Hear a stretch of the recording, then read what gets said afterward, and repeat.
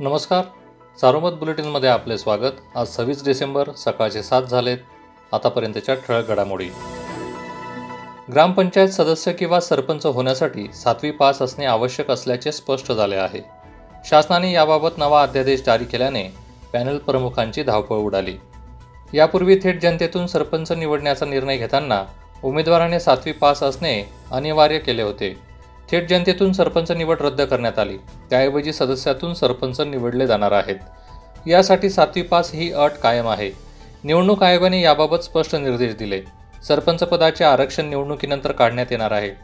त्यामुळे आता प्रत्येक प्रवर्गातील उमेदवार किमान सातवी पास द्यावा लागणार असल्याने पॅनल प्रमुखांची धावपळ उडाली आहे.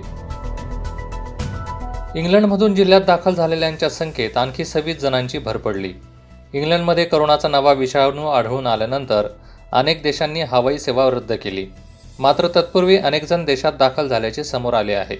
इंग्लंडमधून परतलेल्यांचा शोध जिल्हा प्रशासनाकडून सुरू आहे. गुरुवारपर्यंत जिल्ह्यात तेरा व्यक्ती परतल्याची माहिती होती. शुक्रवारी ही यादी वाढली.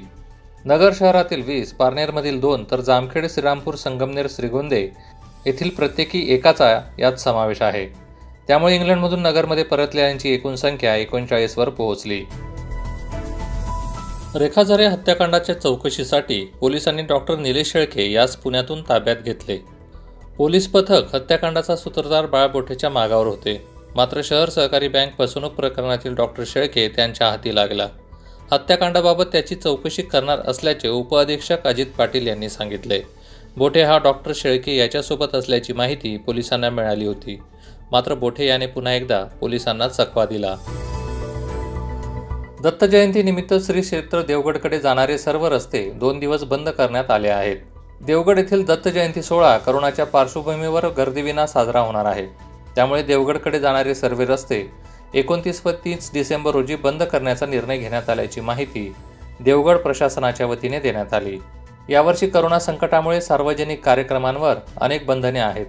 याबाबत कार्यकारी मंडळ व भक्तांशी चर्चा करून भगवान दत्तात्रय जन्मसोहळा साधेपणाने साजरा करण्याचा निर्णय संस्थान प्रशासनाने घेतला आहे.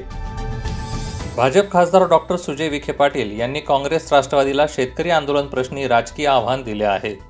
या पक्षांनी आपल्या ताब्यातील बाजार समित्यांमध्ये शेतकऱ्यांना पाठिंबा देण्यासाठी बंद पाळून दाखवावा असे त्यांनी म्हटले आहे. केंद्र सरकारच्या नव्या कृषी कायद्यांना उत्तर भारतातील ठराविक राज्यातील शेतकऱ्यांचा विरोध आहे. महाराष्ट्रासह बहुतांश राज्यातून या कायद्यांना विरोध नाही असा दावा त्यांनी केला. केंद्र सरकारने केलेले कायदे चांगलेच आहेत त्यात काही त्रुटी असतील तर त्या दुरुस्त करण्याची सरकारची तयारी आहे असे ते म्हणाले. शुक्रवारी एकशे बत्तीस जणांना रुग्णालयातून घरी सोडण्यात आले. आतापर्यंत सहासष्ट हजार एकशे तेहतीस जणांनी करोनावर मात केली.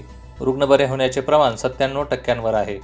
शुक्रवारी एकशे पंचवीस करोनाबाधितांची भर पडली. सध्या एक हजार एकशे सव्वीस सक्रिय रुग्णांवर उपचार सुरू आहेत. या होत्या ठळक घडामोडी सविस्तर बातम्यांसाठी वाचत राहा दैनिक सारोमत किंवा भेट द्या देशदूत डॉट कॉम या संकेतस्थळाला. नमस्कार.